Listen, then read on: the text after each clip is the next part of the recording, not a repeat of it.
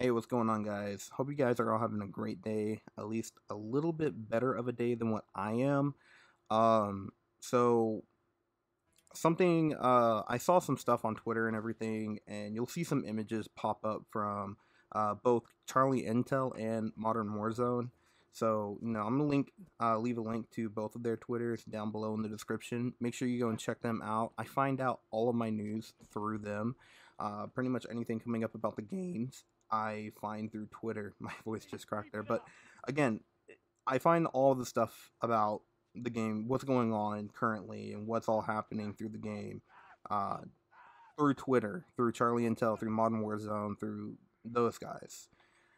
Um, I'm not going to sugarcoat it. The topic of this video is the worst selling COD in 14 years, and I'm just going to say, obviously. uh, they say this is the worst selling COD on launch week in the UK at least. Okay, I'm going to say in the UK because we don't have the US numbers yet. I don't know when we'll get the US numbers. I don't know if we'll ever get the US numbers. But as of right now in the UK on launch week, this is the worst selling COD on launch week. They have not gained the most revenue uh, like they normally do during launch week. I guess a lot of people are taking YouTubers' advice about not buying this game um, maybe people just saw the launch of Cold War and they just thought, well, you know, this game's trash. I'm pretty sure Vanguard is going to be trash too. I mean, they're not wrong, but still. I still see people defending the game on Twitter uh, saying, oh, well, Cold War was trash and everything, but now say one thing Cold War spawn system wasn't as broken as this game's. I will sit there and stand by that comment because it is true.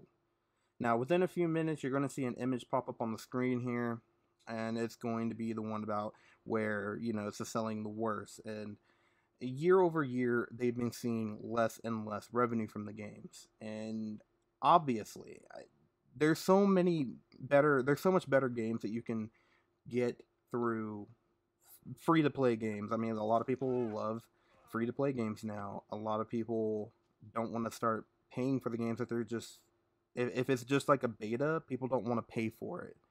So that's essentially what we're doing with these games. Uh, I talked about it a little bit in my last video, which you guys should definitely go check out. Um, it's talking about the worst map in uh, Vanguard and probably all of Call of Duty history. I still stand by that.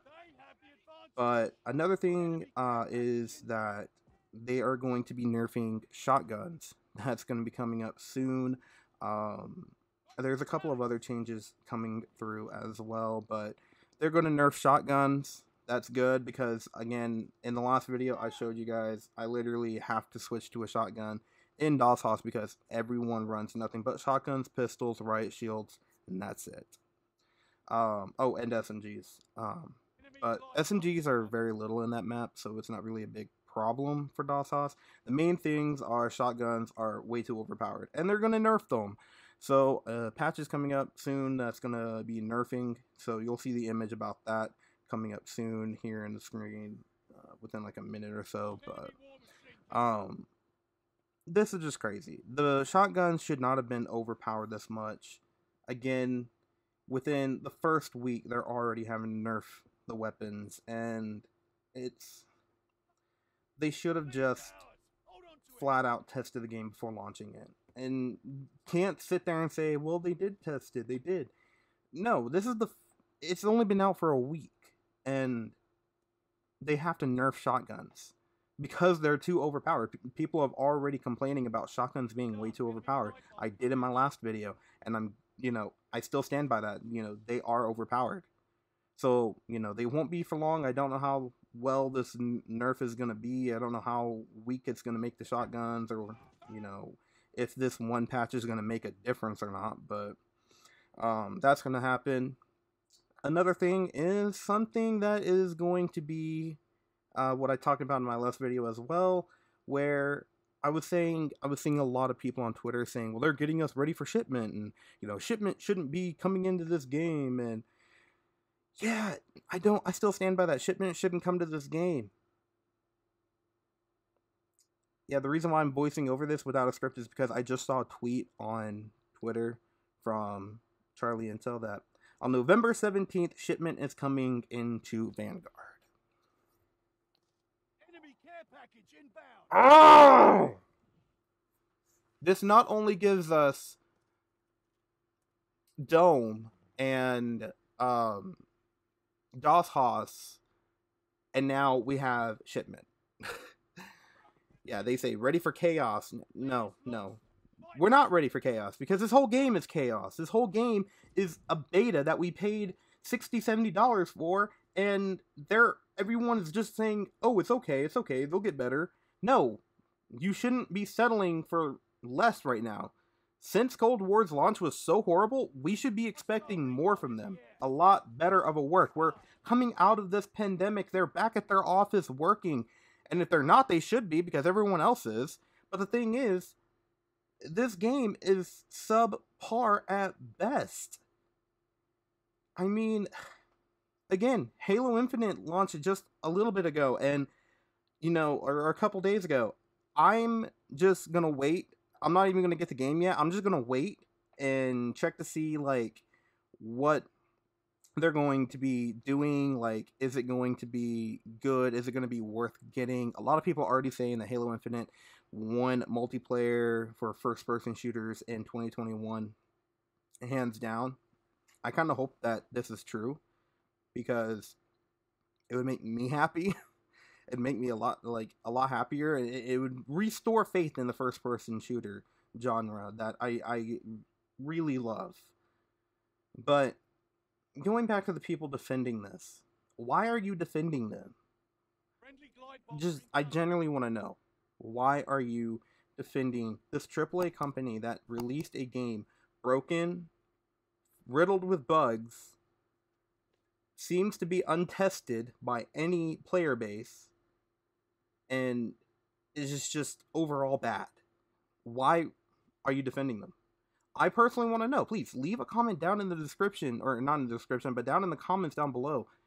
Let me know. I generally want to know why you- are defending them, if you are defending them.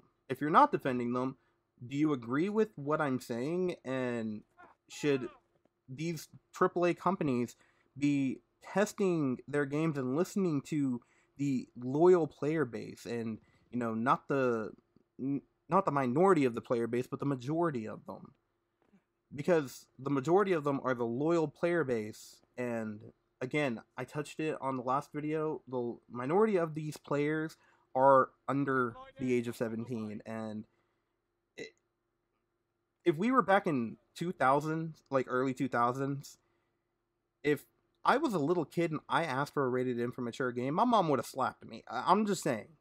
She would have slapped me she would have said i'm grounded no. Simple flat out no but now with Fortnite being a thing and they're obviously wanting to cater to the battle royale genre with Warzone, it almost feels to me personally, just my personal opinion, that they are catering to the minority of the players, which is wrong. The majority player base is what you want to reach out to. You want to listen to them. You want to hear their ideas. What should be implemented in the game? What should be removed from the game? That's a kill denied. Because. I don't know who in their right mind said they wanted shipment in Vanguard. All they did with this was make it look like World War II setting. It's shipment, World War II setting. Why? I get that they're wanting to make the game fast paced or faster paced. And I'm okay with that. Don't get me wrong, I am okay with that. But why I'm not okay with it right now is because the spawns in this game are so broken. That's the one thing they need a patch, and they need a patch for quick. Because I'm again, the game literally spawns your enemies like three feet in front of you. You could spit on them if they want if you wanted to. Like and vice versa. So I could spawn right in front of an enemy. Boom, I have a death with my death. Is that okay? No, I don't think so. At least the spawns in Cold War weren't as broken as Vanguard. At least in my setting, in my experience of playing Cold War, I've never spawned three feet from an enemy. I've never had that problem. It's always been with this game. But, You know, let me know what your guys' thoughts are of shipment coming in. Let me know what your guys' thoughts are of the shotguns being nerfed. let me know all of that stuff down in the comments. Again, I'm coming off script with this because this is just my true, honest feelings about all of this. I'm not happy about it. I guess I'll have to wait and see how shipment plays. And I have a funny feeling it's going to play just like Dome and Das Haus. Enemy spawning three feet from with in front of you, killing you while you're on a streak where you're not able to look because you just spawned and you're on a three kill streak, and boom, you got domed in the back of the head. That's the problem with this game. I think that's something they need to fix on before they put in shipment. But I'll see you guys in the next video. Let me know everything down in the comments. Check out the links in the description. Stay safe, stay healthy. Peace.